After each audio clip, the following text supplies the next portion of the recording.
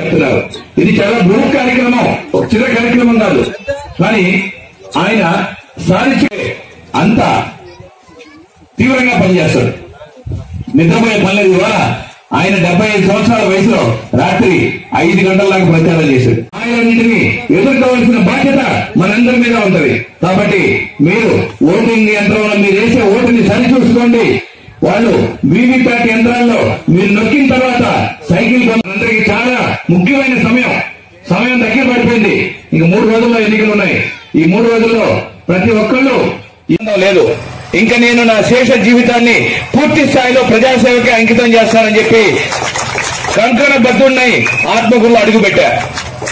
Nomination వేసే రోజు నన్ను కూర్చోబెట్టి చెప్పారు అక్కడ నామినేషన్ దగ్గర. అన్ని కంపెనీల నుంచి రాజీనామా చేసి వచ్చేసాను నాలుగు గుడ్లు ఒడ్లు పడినాయి అని చెప్పి సంకల్పించుకొని గుర్తుకొని ఆనందంగా ఉన్నాం మనం గత ఐదు సంవత్సరాల నుంచి. బుల్లినేని కృష్ణయ్య గారు అక్కడ ఆగల ఆనందం. ముఖ్యమంత్రి గారితో ఎన్నో సహాయ సలహాలు సంప్రదింపులు చేస్తున్నారు గత ఆరు నెలల నుంచి. ఆత్మకూరు చెరువుకి మూడు వందల అరవై ఐదు రోజులు నీళ్ళు తీసుకొచ్చి ఇక్కడ రైతులు రెండు కార్లు పండించుకోవాలని చెప్పేది ఆయన సంకల్పం. అదేవిధంగా ఆత్మకూరు నియోజకవర్గంలో ప్రతి రైతు కూడా రెండు కార్లు పండించుకో పంట పండించే విధంగా నీళ్ళు ఇవ్వాలనేది ఆయన యొక్క సంకల్పం. అదేవిధంగా మనకి హార్టికల్చర్ ఉంది. హార్టికల్చర్ పంటల్ని ఉధృతం చేస్తే హార్టికల్చర్ పంటల్లో మనకి మంచి ఆదాయం వస్తుంది. నిమ్మ చెట్లు వేసుకుంటే మంచి ఆదాయం వస్తుంది. జామ చెట్లు వేసుకుంటే మంచి ఆదాయం వస్తుంది. కానీ మనకి నీళ్ళు లేక వాటిని సరిగా పండించుకునే పరిస్థితి లేకుండా పోయింది. నేర్పించింది ప్రజాసేవ చేసే వాళ్ళే రాజకీయంలోకి రావాలని చెప్పారు. వచ్చిన ప్రతి ఒక్కళ్ళు ఎప్పుడైనా అధికారం ఉన్నా లేకపోయినా ప్రజాసేవ చేస్తారు. గత ఎలక్షన్లో ఎమ్మెల్యేగా నేను ఓడిపోయా? గౌతమ్ రెడ్డి గారు గెలిచారు. మీరు అందరూ గుర్తుపెట్టుకోండి ఇక్కడికి వచ్చిన వాళ్ళందరూ. ఇక్కడ ఇళ్ళలో ఉన్న వాళ్ళు కూడా చూడండి. ఐదు సంవత్సరాల్లో నేను ఎన్నిసార్లు కనిపించుంటా మీ కాలనీలో? గౌతమ్ రెడ్డి ఎన్నిసార్లు కనిపించుంటాడో మీరు మీకే తెలుసు. ప్రభుత్వం ద్వారా ఎన్ని పథకాలు తీసుకొస్తుంటానో ప్రభుత్వంతో పని లేకుండా ఎన్ని పనులు చేస్తుంటావు? ఒక్క పనన్న చేశాడు ఆయన? ఆయన నాకంటే ఎంతో కొట్టేశ్వరుడు వాళ్ళ నాన్న ఎంపీ ఆయన ఎమ్మెల్యే. ఇవాళ అత్యధిక మెజార్టీ పంపించారు. కనీసం ప్రజల కష్టాల మీద సానుభూతి కూడా లేదు. ఒక్క కార్యక్రమం కూడా చేయలే. ఇవాళ ఏమైనా నువ్వేం పని చేయలేదంటే బుర్రనేని కృష్ణయ్య గారు ఒక్కసారి కూడా కనపడలేదు ఈ ఎమ్మెల్యే మీకు. మీకేం పనిచేయలేదంటే పని చేయలేదంటే ఆయన ఏం చెప్తారు తెలుసా? మా ప్రభుత్వం ఉంటే కదా మేము పనిచేసే చేసేదానికి మా ప్రభుత్వం ఉంటే పనిచేస్తానంటాడు మీకు అందరికీ తెలుసు కాంగ్రెస్ ప్రభుత్వం ప్రతిపక్షంలో నేను ఇన్ఛార్జిగా ఆత్మకూరు నియోజకవర్గంలో తిరుగుతున్నా ఆ రోజు కూడా ఏ పని కావాలంటే ఆ పని చేయించాను నేను. చేతనైతే ప్రభుత్వం నుంచి డబ్బులు తీసుకురా తీసుకొచ్చాము తీసుకురాలేకపోతే సొంత డబ్బులైనా ఖర్చు పెట్టి పని చేయించాం. ప్రజా సేవ చేయాలనే కోరిక ఉంటే రకరకాల మార్గాలు ఉంటాయి. నీకు కోరిక లేకపోతే సాకులు ఉంటాయి. ఆయనన్నింటినీ ఎదుర్కోవాల్సిన బాధ్యత మనందరి మీద ఉంటది. కాబట్టి మీరు ఓటింగ్ యంత్రంలో మీరు వేసే ఓటుని సరిచూసుకోండి. వాళ్ళు వీవీప్యాట్ యంత్రాల్లో మీరు నొక్కిన తర్వాత సైకిల్ పంప్ నేర్పించింది.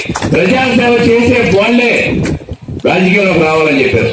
వచ్చిన ప్రతి ఒక్కళ్ళు ఎప్పుడైనా అధికారం ఉన్నా లేకపోయినా ప్రజాసేవ చేస్తారు. గత ఎలక్షన్లో ఎమ్మెల్యేగా నేను ఓడిపోయా. గౌతమ్ రెడ్డి గారు గెలిచారు. మీరు అందరూ గుర్తుపెట్టుకోండి ఇక్కడికి వచ్చిన వాళ్ళందరూ. ఇక్కడ ఇళ్ళలో ఉన్న వాళ్ళు కూడా చూడండి. ఐదు సంవత్సరాల్లో నేను ఎన్నిసార్లు కనిపించుంటా మీ కాలనీలో?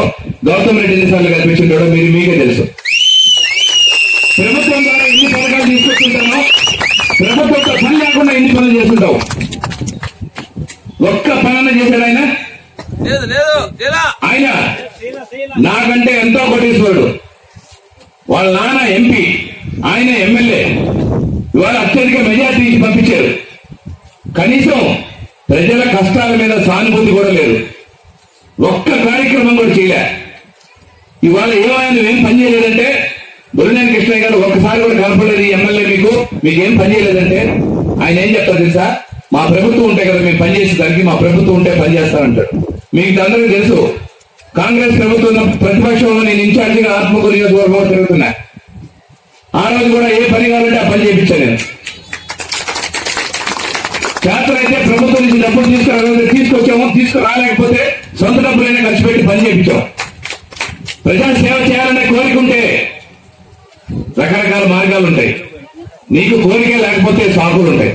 నాలుగు గుట్లు ఒడ్లు పడి అని చెప్పి సంకలు గుర్తుకొని ఆనందంగా ఉన్నాం మనం గత ఐదు సంవత్సరాల నుంచి.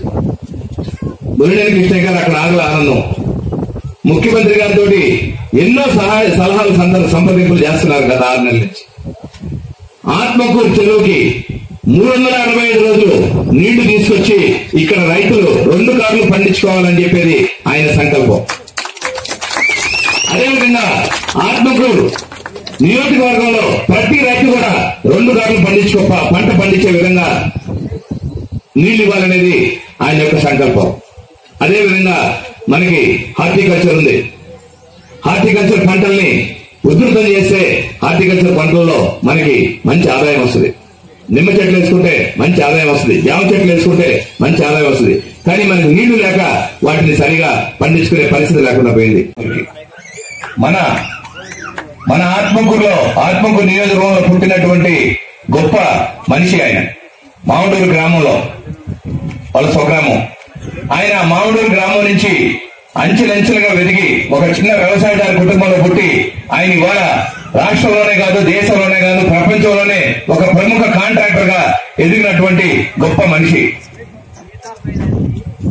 ఆయన ముఖ్యమంత్రి గారి చేసేటటువంటి కార్యక్రమాలను చూసి ప్రభావితుడై ముఖ్యమంత్రి గారు ప్రతి కుటుంబానికి నేను ఇరవై వేల రూపాయలు కనీస ఆదాయం వచ్చే విధంగా నేను